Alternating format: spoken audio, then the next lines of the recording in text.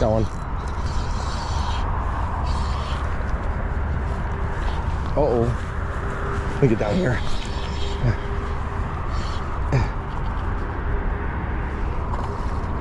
Spider.